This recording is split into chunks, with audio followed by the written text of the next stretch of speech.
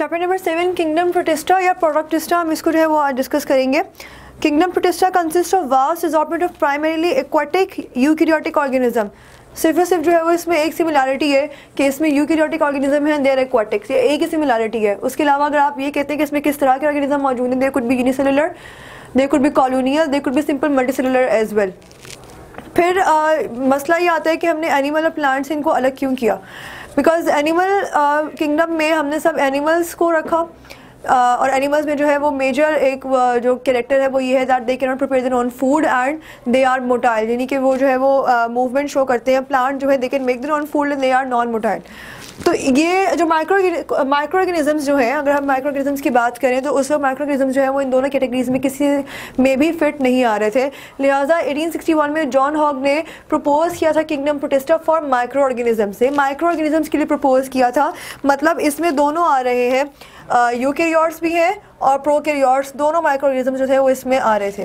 लेकिन उसके बाद इन 1938 हर्बर्ट कोपलैंड इसने जो प्रोकेरियोट्स हैं, उसको प्रोटिस्टा से हटाकर उनका एक अलग किंगडम बना दिया, जिसकी वजह से जो प्रोटिस्टा था, उसमें अब सिर्फ़ और सिर्फ़ यूकेरियोट्स रह गए और प्रोकेरियोट्स था that was on a kingdom status फिर हमने प्रोटेस्टा में सिर्फ़ सिर्फ़ वही ऑर्गेनिज्म रखे which were eukaryote unicellular colonial simple multicellular और मसला ये है था कि हम इसको प्लांट या एनिमल या फंजाई में क्यों नहीं फिट कर सकते? उसकी जो है वो मेन पॉइंट्स हैं। प्लांट में हम इस, ऐसे ऑर्गेनिजम्स को इसलिए नहीं रखते because they are lacking multicellular sex organs in the case of plants जो रिप्रोडक्टिव ऑर्गेन्स होते हैं दे आर मल्टी सेलुलर लेकिन यहाँ इन केस में प्रोटेस्टा के केस में रिप्रोडक्टिव ऑर्गेन्स थे they were not multicellular are they were unicellular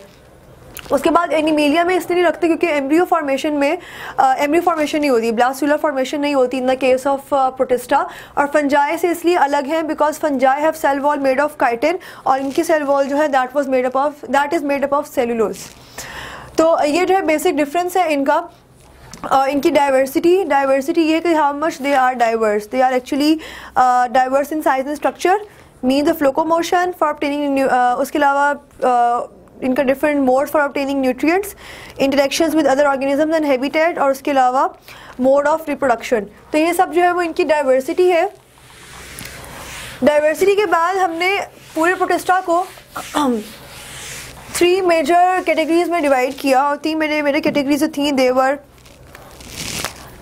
animal like protist